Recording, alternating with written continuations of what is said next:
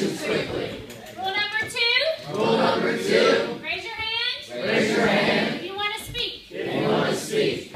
Rule number three. Rule